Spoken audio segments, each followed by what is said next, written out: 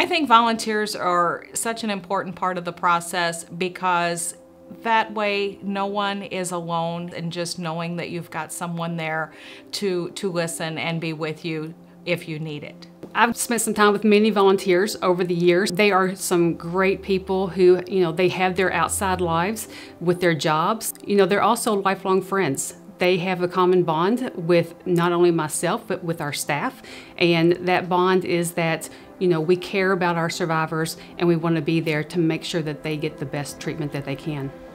Our volunteers are required to go through a 40 hour training, but after that training, we let them set their own schedule. And that may be that it's one day a month, two days a month. It may be that they volunteer more than that. And maybe there's a month that they can't volunteer at all.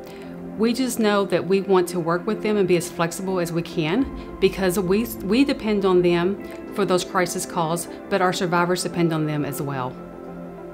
The training process is very detailed, but it is also broken down and was able to ask a lot of questions and was provided with a lot of information, videos, and backgrounds to prepare me for the final exam. I think it's actually easy because you get the PowerPoints and it's more of terminology that you might need to know on how to approach a victim and how to help them through a crisis moment. Our volunteers are so integral to what we do here at New Beginnings. You know, it does take a community to help support these survivors and, you know, we just need all the help that we can get with that.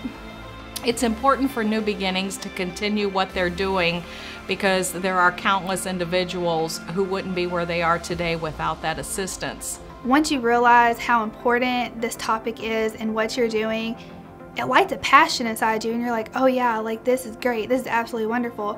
And so not only did you just, you got trained, but you also learned something new. You learned about a topic that most people don't even really fully understand or they try to like push it under the rug. And so you're able to just share that. You're not only trained to go help these people, but now you're trained to share and go be an advocate all over for sexually assaulted victims and survivors.